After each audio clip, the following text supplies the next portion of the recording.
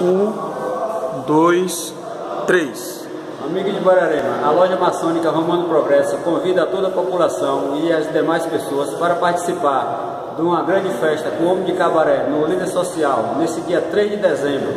E a loja conta com a presença de todos vocês de Guararema. Estejam presentes.